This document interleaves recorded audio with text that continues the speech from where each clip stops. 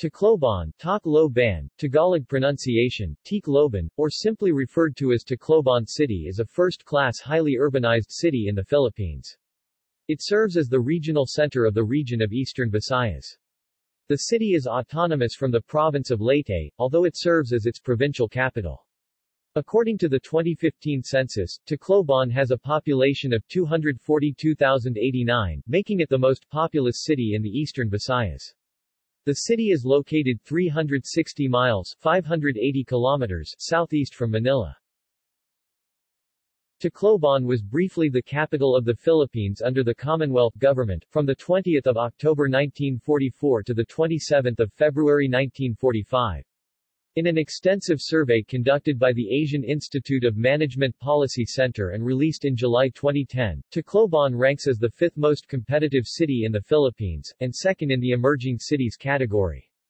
On 8 November 2013, the city was largely destroyed by Typhoon Haiyan, having previously suffered similar destruction and loss of life in 1897 and 1912.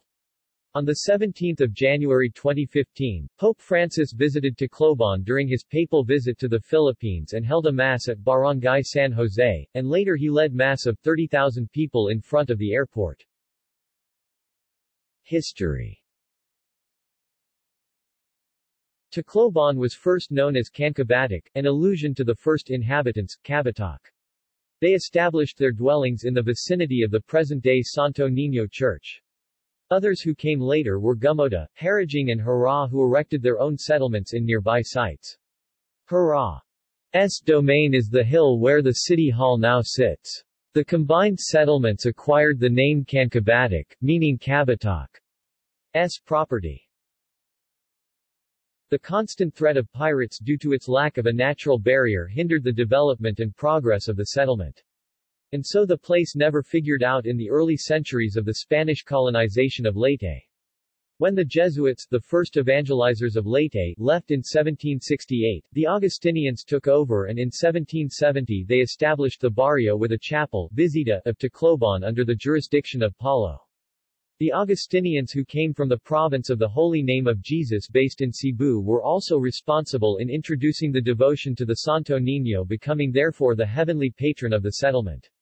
With the Moro raids in check, the place became a hub for commercial activity and soon after the place was renamed to Tacloban becoming an independent municipality and then capital of the province of Leyte. In 1843, the Augustinians ceded the administration of the parish to the Franciscans.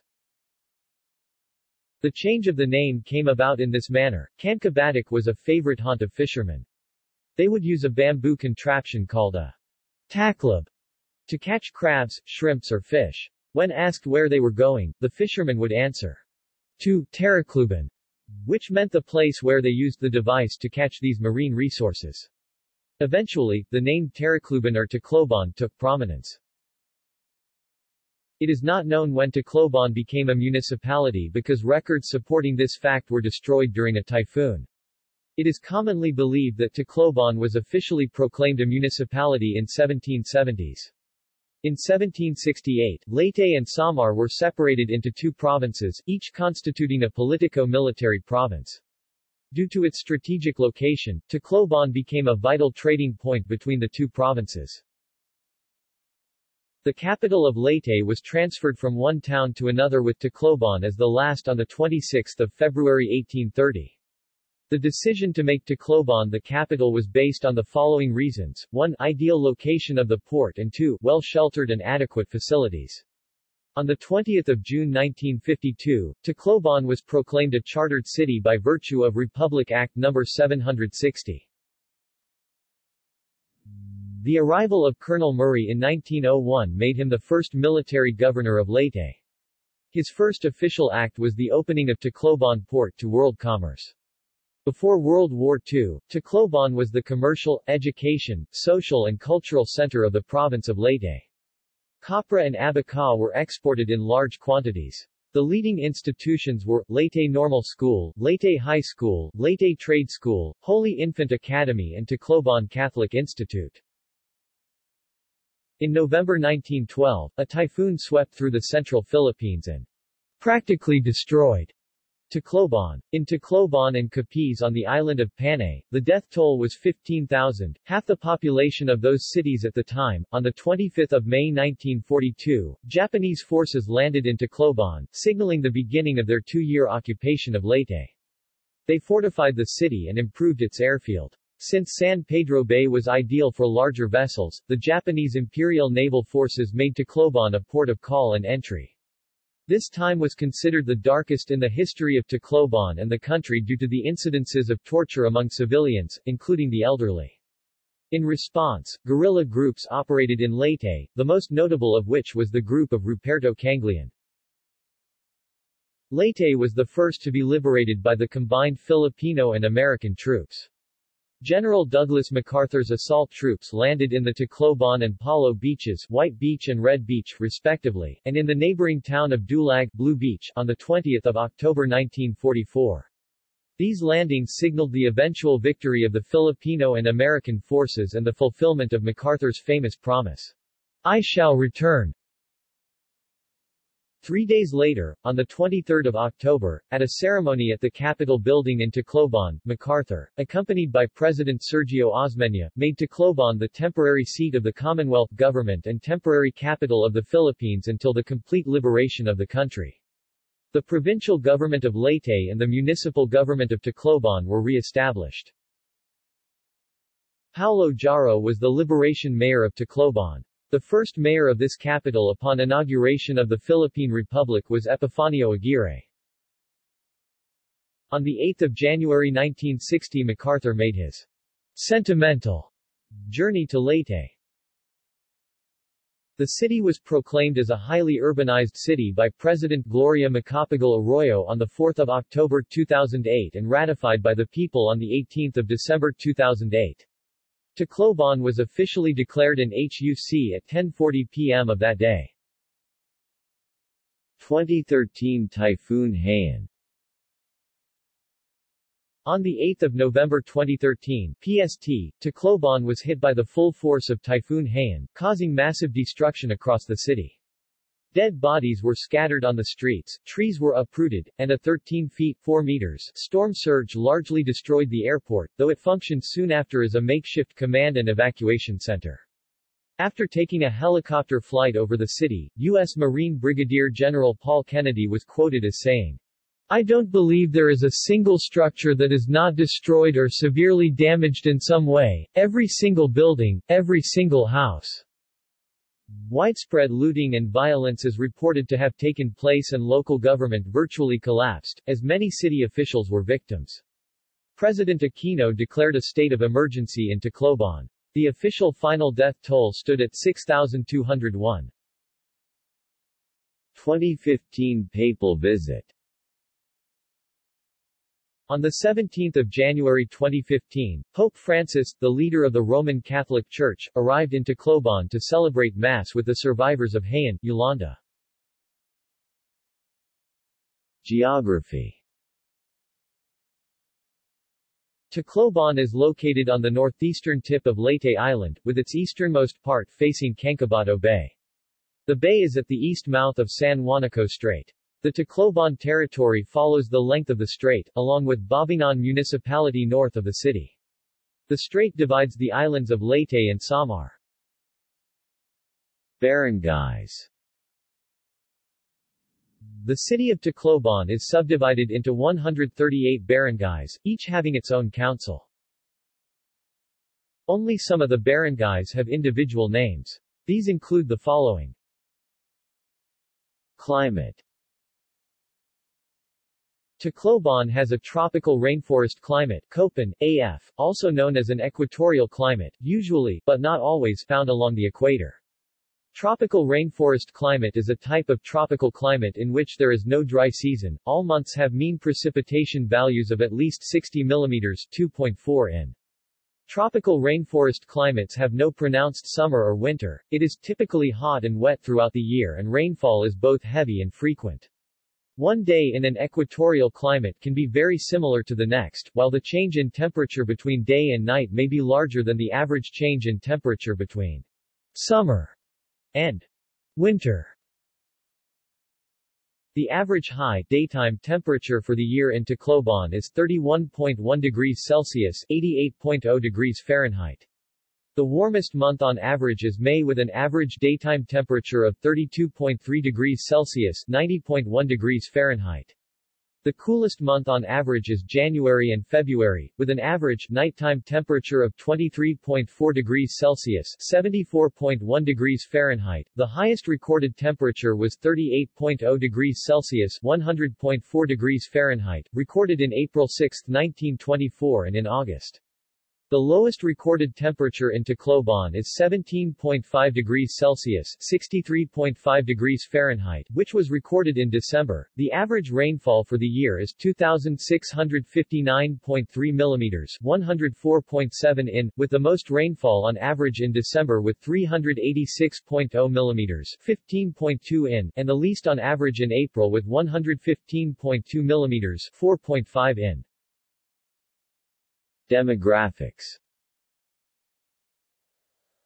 According to the 2015 census, Tacloban has a population of 242,089 inhabitants. Tacloban is predominantly a Waray-speaking city. The language is also officially called Linite Samarnan, Leyte Samarnan, and spoken by more than 90% of the total city population. Waray-Waray, aside from being the native language of the city, is also the lingua franca used in the city among Filipinos of various ethnic groups. Tacloban is culturally and linguistically diverse. A decade before the end of Spanish sovereignty, it was largely a typical colonial community. Most of its residents were either pure Iberian families or the new generations of Spanish-Filipino blood. Today's population consists of a mix of Spanish and Chinese mestizos, foreign expatriates and native Leyteños. Other Filipino ethnic groups who migrated in the city are Cebuano, Kana, Visayan-speaking populace accounts 6.08% of the total population, 0.80% are Tagalog, 0.10% are Ilocano, 0.07% are Kapampangan while 2.95% come from other ethnic origins. 88.52% of the residents of Tacloban City are Roman Catholic, 6.12% are Muslims, most are Maranao migrants from Mindanao, 0.83% are of the indigenous Christian denomination, Iglesia Ni Cristo, 0.94% are evangelicals, born-again Christians, Baptists 0.80%, 0.49% Seventh-day Adventists. Others comprise 3.10%. Economy Tacloban is the economic center of eastern Visayas, with an economy largely focused on commerce, tourism, trade, education, culture, and government in the region. Several regional broadcasters are based in the city, including ABS-CBN TV2 Tacloban, PRTV 12 Tacloban and its regional newscasts. TV Patrol Eastern Visayas and Sumat Ha-Dos respectively. Economically, Tacloban is one of the fastest-growing cities in the Philippines. It has one of the lowest poverty incidence rates in the country, at roughly 9%, while the national poverty incidence stands at 30%, and is the richest local government unit in eastern Visayas. After its massive devastation on 8 November 2013, Tacloban is now considered as a start-up city, which means everything has to start back from scratch. Currently the city is experiencing a rapid economic bounce back, and is dubbed as the rising phoenix of the East, surviving its challenges that once made the city classified into ground zero. The Daniel Z. Romualdez Airport also makes this city a key regional transportation hub. In the mid-90s, Tacloban City worked out the acquisition of 237 hectares 590 acres for its economic zone, which was finally realized and approved by the Philippine Economic Zone Authority, by virtue of Presidential Proclamation No. 1210 on 23 April 1998. The Eastern Visayas Agri-Industrial Growth Center EVRGC, was then officially registered as an eco-zone with the city government of Tacloban as the developer-operator. Government The executive power of the city government is vested in the mayor. The Sangguniang Panlungsod or the City Council has the legislative power to create city ordinances. It is a unicameral body composed of 10 elected councillors and certain numbers of ex officio and sectoral representatives. It is presided by the vice mayor, the mayor and the elected city councillors who are elected at large every three years. The current city mayor is Cristina Gonzalez Romualdez. The city government ceased to be under the supervision of the provincial government after it became a highly urbanized city in 2008. The city is now under the direct supervision of the national government. Tacloban City is part of the 1st District of Leyte, alongside seven other municipalities, Alangalang, Babatngon, Palo, San Miguel, Santa Fe, Tanawan, and Tolosa. The district is currently represented by Congresswoman Yedda Marie K. Romualdez. Official seal of the City of Tacloban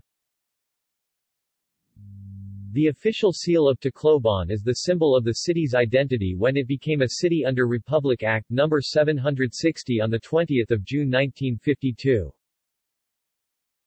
The city's emblem stands for the following physical attributes and character, Left portion, symbolizes the province of Samar Santa Rita, major supplier of agricultural and marine products to the city, stabilizing its volume of business and trade. Center, stands for the beautiful and scenic San Juanico Strait. The galleon, illustrates the ship of Ferdinand Magellan who discovered the island of Limasawa where the first Christian Mass was held in Philippine soil. Right portion, Leyte side, where Tacloban City is located. Culture The week-long celebrations peaks on 30 June, the Grand Fiesta of Tacloban celebrated with the traditional turn-over ceremonies of the Teniente, made by the immediate past Hermano Mayor to the incoming Hermano Mayor. This is accompanied by the ritual of giving the medallion containing the names of all Hermanos Pasados and the Standartes. Fireworks and grand parades mark the occasion. Every house in the city prepares a feast and opens its doors to guests and well-wishers. Sabiran Regatta Sabiran Regatta is a race of one-man native sailboats with outriggers locally called Sabiran along scenic and historic Leyte Gulf. The race is done without using a paddle but only skills and techniques to maneuver the sail. The Sabiran Regatta is now on its 32nd year and counting. This contest is done annually on that week-long celebration of the Tacloban City Fiesta. The race aims to preserve the art of sailing with the wind alone, and to showcase the mastery of this art by local boatmen. Balyuan Organized by the Department of Tourism and the city government, this activity which only started in 1975 is supposedly a reenactment of a purported exchange of images between Barrio Buscada of Basey and Sitio Kankabatok, now Tacloban City. A local story which only saw print in the 20th century purports that in the old days, Sitio Kankabatok was a small barrio under the jurisdiction of Basey town in Samar. During the Feast of Sto. Niño, the residents of Sitio Kankabatok would borrow the bigger image of the saint from the chapel of Barrio Buscada in Basey. Sto. Niño is the revered patron saint of both Kankabatok and Barrio Buscada. The image is returned promptly after the festivities. When Kankabatok grew into a barrio of its own, the local Catholic authorities decided that the bigger Sto. Niño image be retained in prospering village. However because of its highly questionable anthropological and historical basis, the story can be best understood as simply etiological. It gives witness to the cultural, ethnographical and historical relationship between the people of South Samar and the eastern seaboard of Leyte. Likewise, stories of the image missing in Buscada and turning up in Kankabatok aided to this decision of honoring this relationship. The Basey flotilla bearing the church and government leaders goes on a fluvial procession along San Pedro Bay. A Budiong shell call announces the site of the flotilla off Cancabato Bay. Sangya Festival Sangya is an archaic Waray word which means to herald the news. The Sangya Festival was created by Imelda Marcos in the 1980s. The festival was revived in 2008 by her nephew, current city mayor Alfred Romualdez. The Sangya Festival invites contingents of different performing groups of various festivals in the country to compete in this side of the region. Cash prizes and trophies are at stake as the Sangya festival grooms itself to be a big festival to watch out in the succeeding years. Points of interest Tacloban is a tourism hub and the primary gateway to eastern Visayas. The region is world-renowned for its natural ecological beauty and diversity and for its historical significance in the Second World War. San Juanico Bridge San Juanico Bridge, which is 2.16 kilometers 1.34 miles long and connects the islands of Leyte and Samar across the San Juanico Strait, is the longest bridge in the Philippines. It was not significantly damaged due to Typhoon Haiyan and therefore was one of the critical gateways for the transportation of relief goods and the evacuation of refugees. Santo Niño Shrine Home of the Marcos family, it displays the fortune and previous properties of the Philippine dictator. The shrine was severely damaged due to Typhoon Haiyan 2013, and repairs are nearly complete. Price Mansion The Price Mansion is an example of American colonial homes built in the Philippines during the 1900s. It was the official residence and headquarters of General Douglas MacArthur during the liberation of the Philippines period in 1944. The building was the residence of Walter Scott Price and his wife Simeona Kalingig and their children. Santo Niño Church the Santo Niño Church is considered the most important religious site in the province. It houses the miraculous image of Sto. Niño which is the patron saint of Tacloban. The church was severely damaged due to Typhoon Haiyan. The church had to be rebuilt after Typhoon Haiyan. This was undertaken with the financial assistance of the Buddhist Tzu Chi Foundation, Leyte Provincial Capitol The Leyte Provincial Capitol is a neoclassical building built in 1907. Located at the corner of Sen. Enage Street and Magsaysay Boulevard, the Capitolio is the seat of the provincial government of Leyte. It was also the seat of the Commonwealth Government of the Philippines when President Sergio Osmeña landed here in 1944 with the World War II Liberation Forces. The capitol was damaged in 2013 by Typhoon Haiyan. Tacloban Metropolitan Arena popularly known as the Astrodome the Tacloban City Convention Center is a 5,000-seat indoor arena which is now the perfect location for basketball tourneys and other sporting activities, concerts and other big gatherings like the Search for Ms. Tacloban. It also houses many bars and businesses. The arena was severely damaged by Typhoon Haiyan but still served as an evacuation center after the typhoon devastation. People's Center Library, the library houses a collection of books of different cultures from around the globe, USA, Europe and other countries, including French, Spanish and English literature as well as a compilation of law books. The People's Center Library is used by local students as well as researchers. Balyuan Park Balyuan Park is located at the grounds of Magsaysay Boulevard. The park was severely damaged due to Typhoon Haiyan storm surge facing the sea. Madonna of Japan, the Madonna of Japan serves a symbol of friendship between the Japanese and Filipinos. It is located at the Kanhuraw Hill near City Hall, facing Cancabato Bay. During the Second World War, the place became a campground for Japanese soldiers, Redoña residents redacted. Building is now demolished. The Redoña residence is one of the remaining houses built in the turn of the 19th century. It is a showcase of Filipino craftsmanship and architecture. This historic mansion is in need of serious restoration for the legacy of historical architecture. It was the official residence of President Sergio Osmeña Sr. in 1944, when Leyte was the seat of the Philippine government during the liberation from the Japanese campaign until Philippine Commonwealth was re-established in Manila. However on 7 March 2018, the Redoña residence was demolished under the directives of Margarito Redoña's daughter Cristina Pablo, who cited the lack of support from the local government in the restoration of the heritage site as one instrumental reason for its demolition. Transportation Tacloban is served by air, multicabs, taxis, jeepneys, buses, tricycles and pedicabs.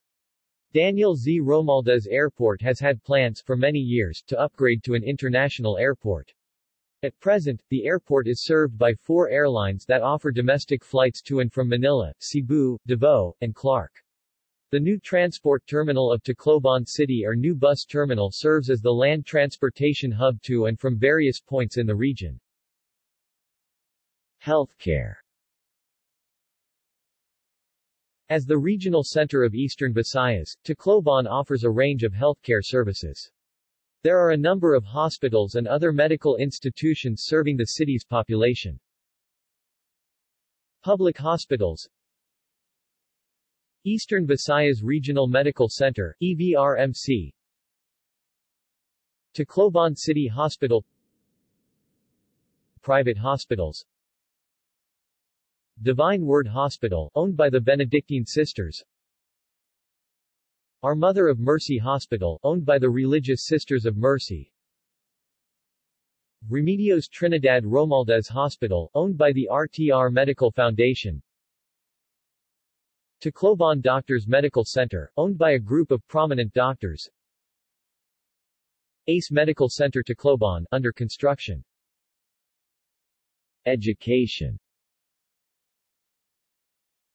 Tacloban has a variety of educational institutions both public and private.